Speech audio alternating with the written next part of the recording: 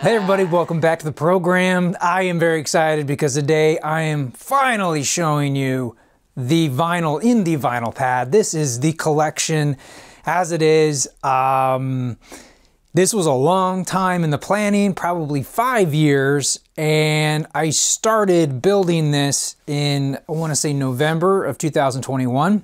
And this was roughly complete uh, probably in February of 2022. I definitely had a lot of help building this. This was not cheap because the price of plywood right now is insane, uh, but I'm so very happy to have this finished. And uh, those of you on Patreon have seen this progress, but for the rest of you, I, I wanted to show you the nearly finished product. Uh, and do a whole room tour so you can kind of see how all of this ties together. Now, a little story on these. I took an existing design, but I felt the bottom could use more storage. So that's what this is. It's a modified version of, of her design.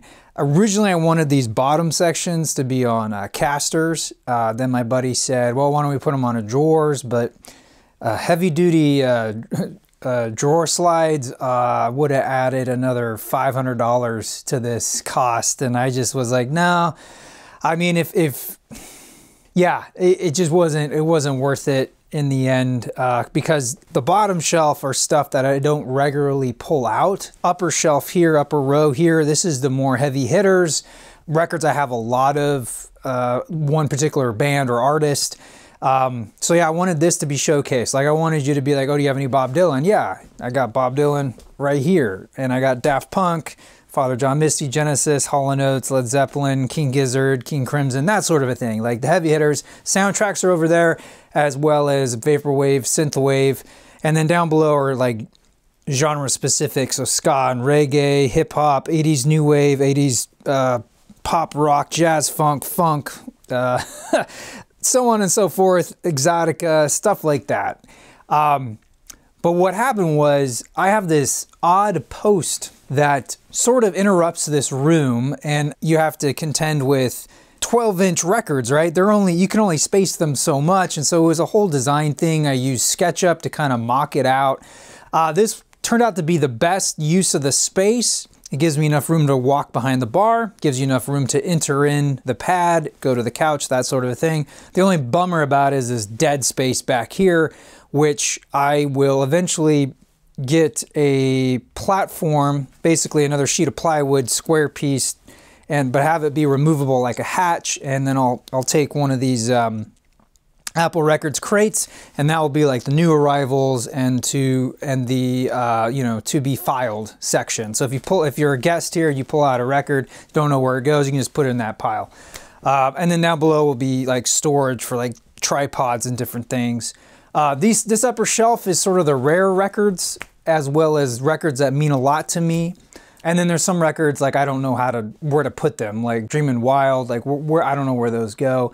Uh, I might do a more in-depth uh, going through every record on my Patreon, but I just want to give you guys an overview. This was kind of a fun thing because I wanted, uh, you know, this comes out a certain depth from the wall and I knew I wanted these to meet in the corner, but then I had to contend with that post. And so actually these two are a little are a little skinnier than that one. Even though they look the same, it's actually a little skinnier so I could fit this uh, seven inch shelf. And then I had this weird sort of space, so I used uh, that for display of these Elvis decanters. Now, on my other channel, Mixing with the Geek, I go in depth on the meaning behind these, but I just thought this was a cool way to display these pretty meaningful uh, decanters, which actually most of them still have the booze inside. So, um, and the other thing I was doing is these custom uh, record, what do they call them? Record divider cards here. I got these from uh, Bags Unlimited, and then I used lettering uh, to put these on. So I've hand lettered all of these because I just wasn't satisfied with what was out there. And I knew I wanted not only band names, but I also wanted genres, that sort of a thing. So I'm still in the process of that down below. I, I basically ran out of specific letters, so I couldn't go any, eh, eh, go any further uh, on replacing all the white cards that you see down below. Um, like this one for, for disco funk, right? This is what I used for a long time. These came out of Big Al's Record Barn As you can see, he had his own genres. But yeah, so I had disco funk on here. So eventually I'll, I'll, I'll, replace it with the black card. And eventually I'll do the same thing for these uh, seven inches. But for some reason, Bags Unlimited doesn't make divider cards in black with tabs in the seven inch side. Because uh, I wanted tabs too, because some of these get real close together as you can see here. And then down below, it gets really hard to see. And the other unfortunate thing about going down here is this, trying to get under here, your head definitely hits this. So um, it's not the most ideal at by far this sort of setup, but I can't tell you the joy I get just from flipping through the records as opposed to going this way in a record shelf. Uh, the whole idea was I wanted to invite people who come here, guests, musicians, artists, my friends, to come and actually encourage them sublim- subliminally. I can't say that word. I wanted to encourage them by having everything facing towards them so that they actually will peruse like in a record store. And I, I didn't necessarily intend this to look like a record store, but that's, I mean, it, it is what it is, right? That's what it looks like. Getting this finish took a long time to get it right. I actually used two different finishes. I initially did like a an orange pass and then I did it with a brown pass and I went over all that in, my, in a Patreon video. It was it was a process and my buddy Phil from uh, my band, my old band, King Cousins, he helped out a ton, and, and, a couple of his friends also helped me. And but he's up in Santa Cruz, so I had to like drive up there to get a lot of this done. And I think this took about eight sheets of plywood, and they're about $115 each or something. It was crazy how much uh, the plywood was.